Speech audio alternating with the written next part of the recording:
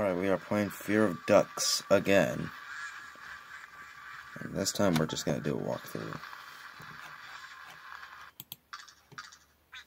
So, zoom. It's actually the most dropped house. We're just doing a walkthrough.